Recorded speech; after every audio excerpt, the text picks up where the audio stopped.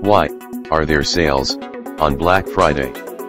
Black Friday is the day following Thanksgiving Day in the United States, and that is the fourth Thursday of November.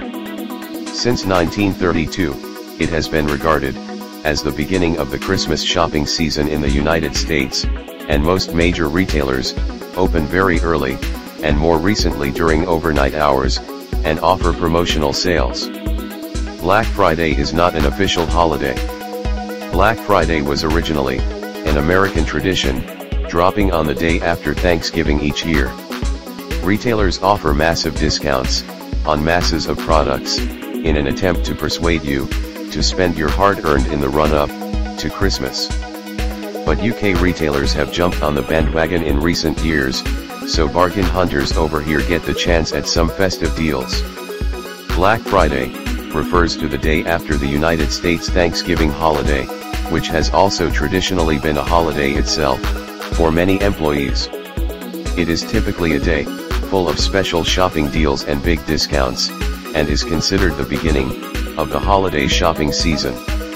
Some say the day, is called Black Friday as in homage, to the term black referring to profitability, which stems from the old bookkeeping practice, of recording profits in black ink, and losses in red ink.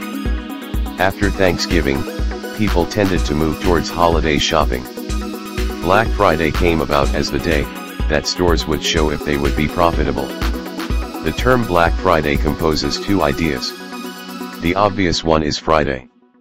Thanksgiving is always on a Thursday, therefore the next day is Friday. Now, what some people may not know is what the black in Black Friday represents.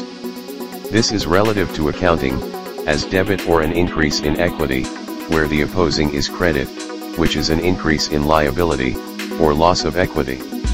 When the sum of debits, is greater than credits, it was displayed in black ink, to show profit at a glance.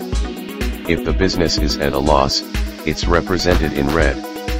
Now, as to why there are sales on Black Friday, this is simply marketing. Get the people into your store to increase, sales and of the sale items as well as other items. If one company has better sales than another, that company is likely to get more customers, thereby likely generating a greater profit.